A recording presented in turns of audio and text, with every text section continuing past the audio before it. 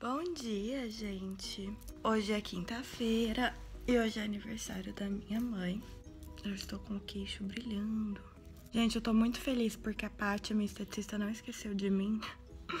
Ela falou que vai tentar marcar semana que vem pra eu fazer uma limpeza, sei lá. Gente, sério, não sei o que tá acontecendo com a minha cara. Se bem que deu até uma melhorada, agora tá só a marquinha, sabe? Ai, judiação, né? E eu não sei o que eu faço, porque eu não sei se eu volto a passar a vitamina, porque essa ruga tá me incomodando muito. A vitamina C. Mas aí eu vou ficar com a cara, tipo, ainda mais branca do que já tá, e muito mais diferente do corpo do que já tá. Então, assim, a vida é feita de escolhas. Eu não sei se eu quero escolher um rosto bronzeado, saudável ou branco com menos manchas. Vamos ver. Acho que eu vou deixar pra fazer isso mês que vem. Eu levantei agora. Já tá quase na hora do almoço, porque eu cheguei tarde, dormi tarde, né? Tem um monte de coisa pra fazer. De internet, de vlogs, de coisas da vida virtual. Preciso fazer uma capa, preciso postar um vídeo. Isso antes de ir pra academia, que é às três horas. Ai, eu quero muito fazer minha unha. Gente, eu não sei se isso acontece com vocês quando passa esmalte claro.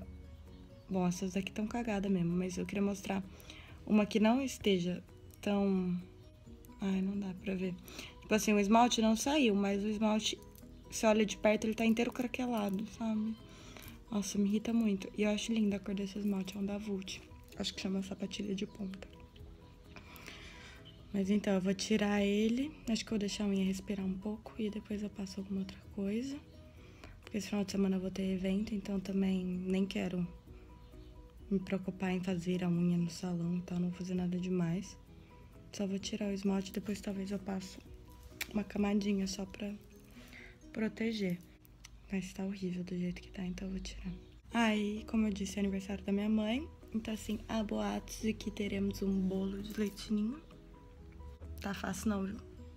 Mas tudo culpa minha do meu irmão, porque minha mãe fez bolo de uísque. E aí a gente tava reclamando que bolo de uísque não era bolo de aniversário, porque realmente não. Pra quem não sabe, eu comecei a falar e o meu celular me cortou, como sempre. Pra quem não sabe, o bolo de uísque parece um panetone. Ele é tipo aquela massa meio... não sei explicar. Tem um gosto diferente, sabe? E aí tem fruta seca dentro e ele fica não sei quantos dias embebido lá no uísque, numa fraldinha com uísque. Fraldinha é ótimo, sabe aquele pano? Fraldinha de bebê mesmo. E aí ele pega o sabor do uísque, enfim, algo do tipo. Mas assim, é tipo um panetone, entendeu? Não um bolo de aniversário. Como que você vai pôr vela e cantar parabéns? Não tem como. E a gente tava reclamando isso, aí minha avó foi lá e, e pediu pra fazer bolo de leitinho. Ai, o que, que eu posso fazer, né? Se o mundo não colabora com a minha dieta. Mas eu vou na academia, vou correr mais, mais meia hora ainda. Depois do, do treino. E é isso aí. Nós. Recluso. Recluso. Ai, vou começar tirando meu esmalte que tá me incomodando muito. Já vem.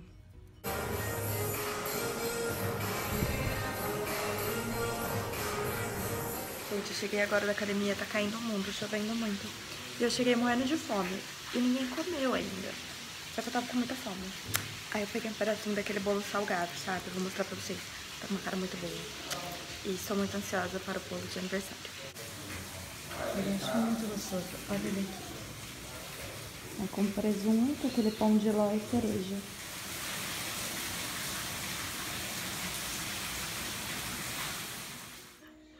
Gente, eu vim dar um updatezinho pra vocês. É... Que... Eu não lembro. Ah, eu fui na academia, depois eu fiz um pouco de esteira, não muito, porque eu tava muito cansada. O treino foi super puxado, de aeróbico e tal. Assim, foi aquele treino que eu falo sempre pra vocês, que mistura é, peso, é, treino de musculação com aeróbico. Mas ele puxou muito no aeróbico hoje, assim, os exercícios aeróbicos eram muito difíceis, sabe? Tipo, muita pulação e quase tudo era se mexendo, assim, Normalmente, nas três séries, uma é aeróbico. Dessa vez era, tipo, duas e um mais tranquilo. E aí os outros dois, tipo, seguidão, assim, no batidão pesadão. Aí eu fiz um pouquinho de esteira, só devagar, porque eu tava muito cansada.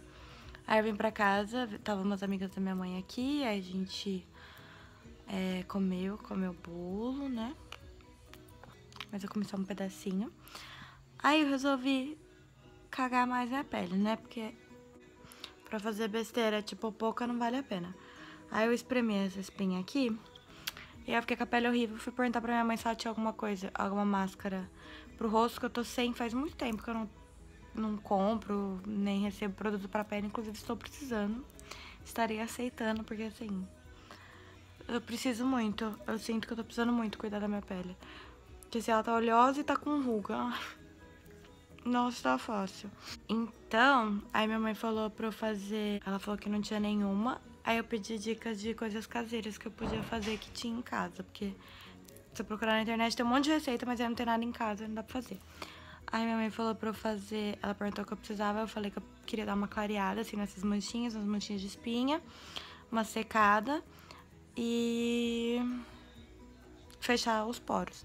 Aí ela falou pra fazer um esfoliante com limão e açúcar. Gente, pelo amor de Deus, não vai me passar limão na cara durante o dia e sem lavar muito bem, viu? Sério, não vamos entrar nesse, nesse método, que limão é perigoso, a gente sabe. Mas como eu quero dar uma clareadinha nas manchinhas, eu vou pôr um pouquinho. Aí ela tinha falado pra fazer limão com açúcar, mas agora que eu tô pensando, como eu tô com espinha e tal, acho que eu vou pôr um pouco de mel também, que mel é antisséptico, é muito bom pra secar espinha e tudo mais.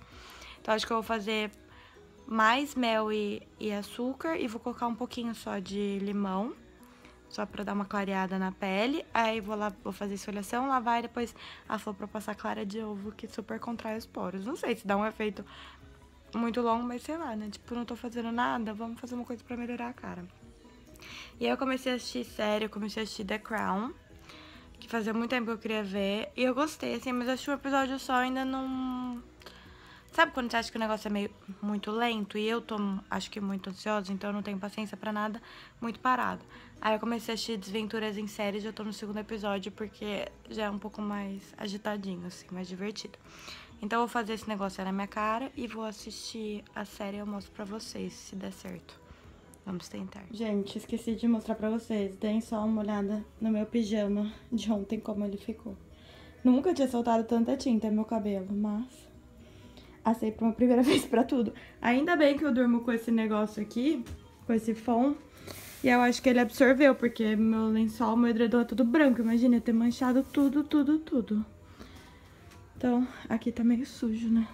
Acho que manchou mesmo. Mas sorte que foi só a camiseta do pijama. Vou pôr pijama agora e eu vou fazer um negócio na cara. Olha, gente, como ficou.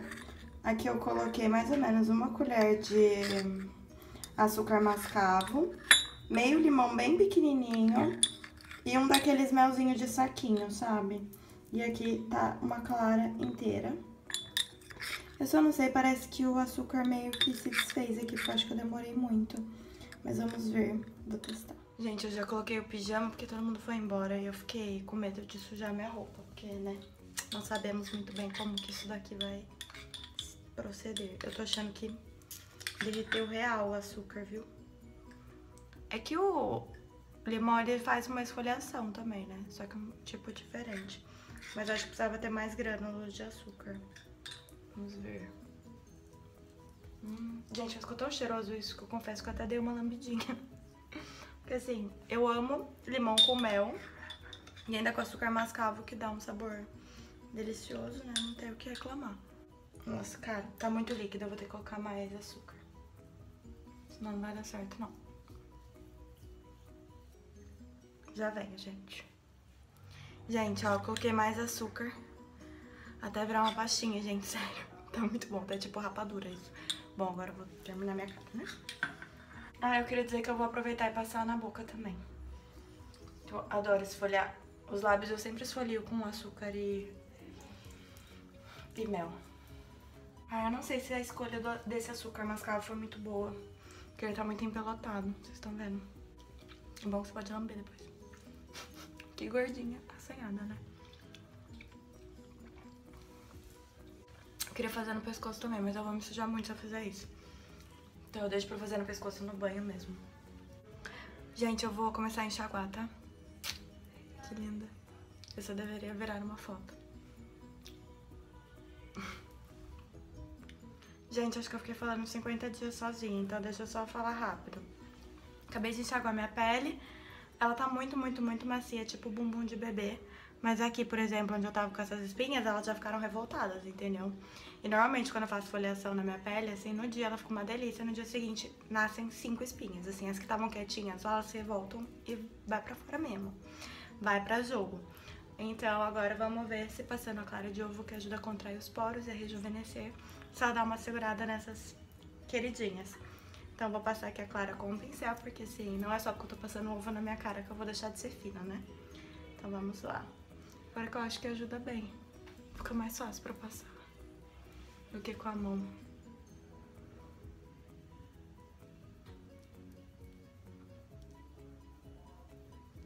Gente, clara de ovo não tem cheiro de nada, tá? Pra quem fala que fede, o que fede é a gema.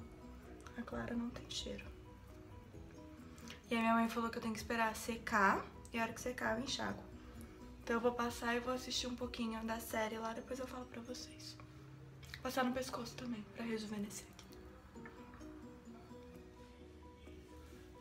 Gente, eu esperei secar. Ficou bem dura a minha cara. E agora eu tô tirando com um algodãozinho molhado.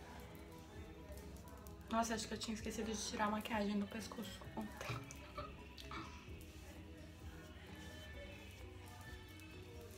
E aí depois eu vou passar água. E depois eu, e depois eu vou passar esse hidratantezinho aqui. Esse serum, na verdade, da Caudalie, que é uma amostrinha, mas ele é muito bom. Aliás, eu amo todos os produtos da Caudalie. Ele é anti-idade e tal. Acho que vai ser bom pra finalizar esses tratamentos. Nossa, gente, eu confesso que a minha pele ficou muito bonita. Não dá pra ver agora direito que tá escuro. Mas os poros ficaram mais fechadinhos e ela tá, assim, muito, muito, muito macia. Então vamos ver como eu vou acordar amanhã, né? Se ela melhorar, vai ser, tipo, super aprovado. Inclusive, sobrou um monte de clara. Eu vou ver se eu consigo guardar um lugar pra perguntar pra minha mãe. Você pode guardar fechadinho. Gente, só pra finalizar o vlog de ontem, queria dizer que gostei muito dos meus tratamentos estéticos. Achei que a minha pele ficou muito boa, acordou boa. Ó, já diminuiu, assim. Ainda estão presentes, mas achei que diminuiu. As espinhas, os poros estão mais fechadinhos. Gostei. Acho que vou fazer hoje de novo, porque sobrou um monte de clara. Vou passar pra... Sei lá, só pra... Eu acho que assim, não é um tratamento que vai dar diferença a longo prazo, entendeu? Eu não acho que vai reduzir minhas rugas, minhas marcas de expressão, nada disso. Mas na hora deixa a pele bonita, então acho que... Tipo, na falta de outro produto mais, mais específico, não custa nada, sabe? Tá lá na geladeira sem fazer nada, por que não passar na cara? E eu tô adorando essas dicas assim mais naturais, sabe? Vocês seguem o canal da Yasmin Brunet? Primeiro que eu sou apaixonada nela, acho ela diva, Deus, amor. E ela dá umas dicas muito boas de produtos naturais, assim. Eu tô gostando, tô testando bastante coisa. Ela é viciada em óleo de coco, que nem eu, também usa pra tudo. E ela faz umas máscaras pra cabelo e tal, que eu ainda não testei, mas eu quero. Quero comprar uns abacates. Testar uma máscara que ela postou. E um esfoliante também. Esfoliante eu fiquei ansiosa, não, né, a palavra. Fiquei curiosa pra testar. E ela fez um shampoo seco, que é o que eu mais queria testar, mas o negócio que ela usou, eu esqueci como chama. Mas é uma coisa que eu nunca ouvi falar, eu nem sei onde vende, mas eu acho que é tipo amido de milho, é amido de uma outra coisa. Só que eu não sei que coisa é essa. mas, enfim, pra quem não conhece, fica a dica aí, procura no YouTube Yasmin Brunet se vocês testarem alguma, alguns desses tratamentos. Ou se vocês tiverem dicas de algum outro tratamento caseiro, assim, que funciona, deixa aí nos comentários pra mim que eu vou amar. Então, beijos e até mais.